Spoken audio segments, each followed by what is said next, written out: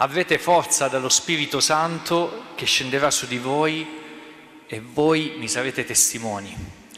Il video ce lo ricordava, era questo il tema che ha portato 500.000 ragazzi da tutto il mondo a convergere verso Sydney attorno alla croce di Gesù. Perché la GMG è un'esperienza mondiale, ma prima di essere catalizzata attorno alla figura del Papa, attorno alla croce di Gesù la, ogni GMG si apre con questa croce di Gesù ed è il Santo Padre che invita tutti i giovani del mondo a convergere verso quella croce, che richiama il mistero pasquale di Cristo, che è fonte della nostra vita cristiana. È di lì che parte tutto, da quel mistero pasquale, quella croce vuota, vuota, ma che porta le tracce, i segni del Cristo risorto.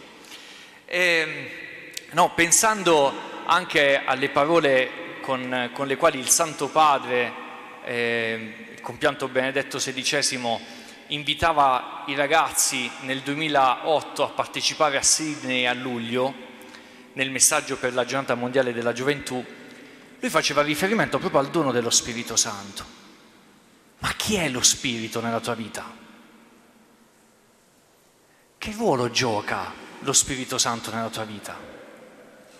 Era questa la domanda che, che, che provocava, che con, con la quale il Santo Padre voleva provocare i ragazzi in quel momento storico.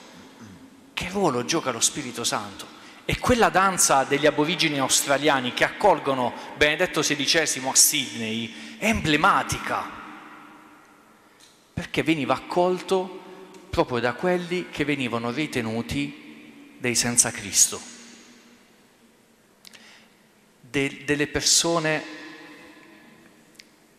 forse omuncoli, per richiamare un'antica espressione di Sepulveda, Omun, omuncoli, cioè non degni.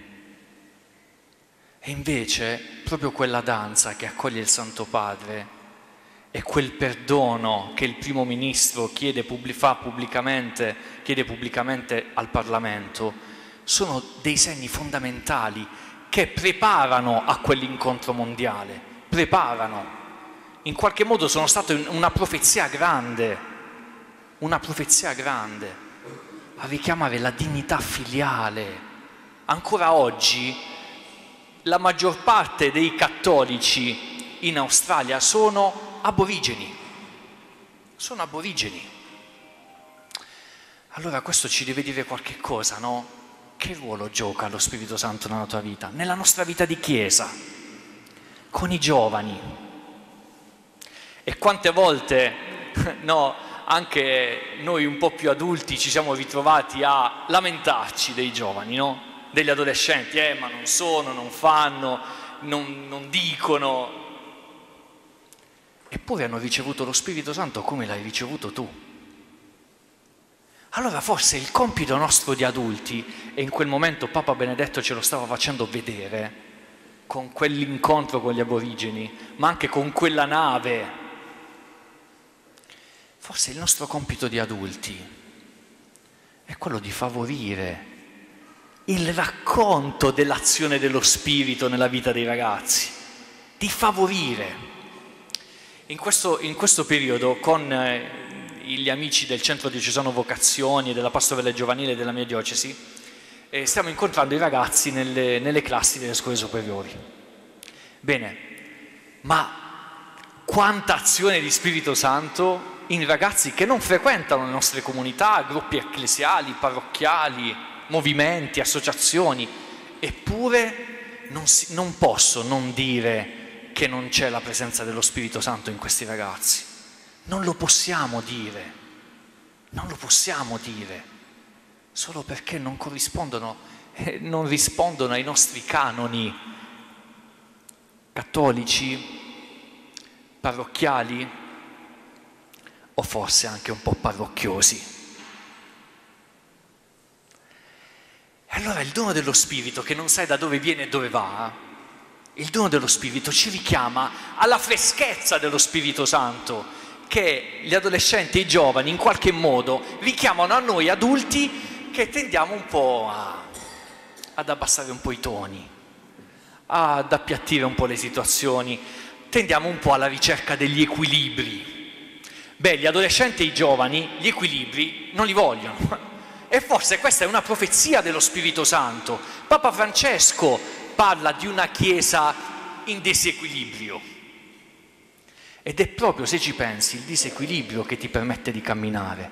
Noi quando camminiamo, camminiamo su un piede alla volta. Facci caso. Dis- il disequilibrio ci permette di camminare. Allora non temiamo il disequilibrio che ci raccontano gli adolescenti e i giovani che conosciamo o che inco- inco- incrociamo per le strade dei, dei nostri paesi, nelle nostre città. Non li temiamo, non temiamo quel disequilibrio, anzi lasciamoci provocare, perché forse quel disequilibrio è dono dello Spirito, è dono dello Spirito Santo, che scenderà su di noi, scende su di noi e del quale noi siamo testimoni. Perché quando incontri il Signore nella tua vita, altro che equilibri, altro che equilibri, è tutto in subbuglio ed è proprio la cifra del subbuglio, del disequilibrio che racconta dello Spirito in te. Allora, Papa, Papa Benedetto nel discorso col quale preparava i ragazzi a incontrarli a Sydney, parlava dello Spirito Santo come principio di comunione, principio di comunione. E nel Vangelo di Giovanni sappiamo che la, la comunione si può dire in un altro modo, verità. Era una parola carissima a Papa Benedetto, la verità. E in, nel discorso di apertura che farà lui stesso a Sydney, accogliendo tutti i ragazzi lì eh, sul, sulle rive di, del, del mare, citerà proprio la verità, Cristo verità. Ma nel Vangelo di Giovanni, chi è la verità?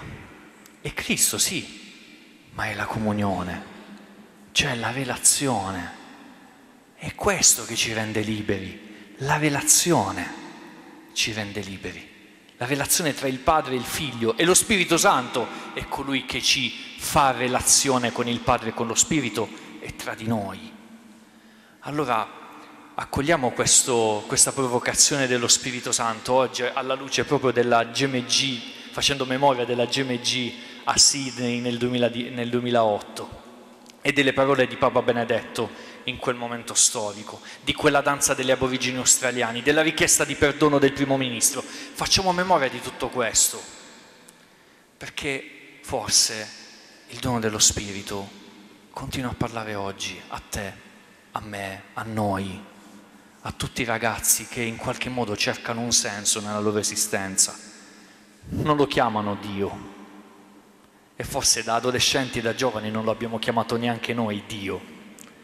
Eppure sappiamo che quella ricerca di senso è Lui che agisce in noi, è Lui che agisce in noi, perché lo Spirito è colui che è Signore e dà la vita. E la vita è disequilibrio, la vita è missione perché non lo puoi contenere, ti rendi conto che non lo puoi tenere per te, ti rendi conto che tutta la tua vita parla di Dio, che tutta la vita dei fratelli delle sorelle parlano di Dio. Allora non c'è bisogno che la missione sia portare Cristo agli altri. Confesso, mi sono confessato per tutte le volte in cui ho detto dobbiamo portare Cristo agli altri. Perché gratta gratta che cosa pensavo? Che gli altri fossero dei senza Cristo. E quindi Cristo glielo dovevo portare io. E invece la missione, l'evangelizzazione, e gli amici della Laudato Si e dei, de, dell'Istituto dei Servi della Sofferenza lo sanno bene, l'esperienza di evangelizzazione non è portare Cristo agli altri, ma gettare una, una parola di luce nella vita degli altri e in modo particolare nella vita dei giovani, degli adolescenti, perché si accorgano che Cristo nella loro vita c'è sempre stato che Dio nella loro vita c'è sempre stato, non glielo stai portando tu, perché se hanno ricevuto il battesimo come l'hai ricevuto tu, il Signore nella loro vita c'è, c'è. Allora gettare una parola di luce perché si accorgano che il Signore nella loro vita c'è. Allora veramente chiediamo una, una speciale intercessione a Maria, a Maria questa sera. E nel, nel, nelle, nella cadenza del rosario portiamo tutti quei ragazzi e quelle ragazze che sono in, in ricerca di un senso loro esisten- nella loro esistenza, perché si accorgano che Dio non li ha mai abbandonati, mai, mai e mai li abbandonerà, come non ha abbandonato noi e mai ci abbandonerà.